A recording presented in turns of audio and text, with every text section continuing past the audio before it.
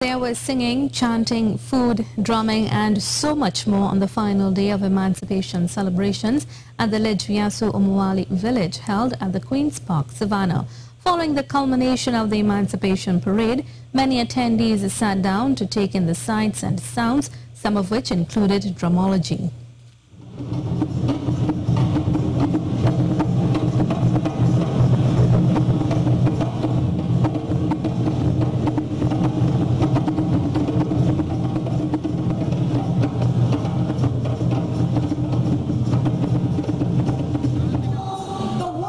Also Asha Mandela who holds the Guinness World Record for the longest dreadlocks.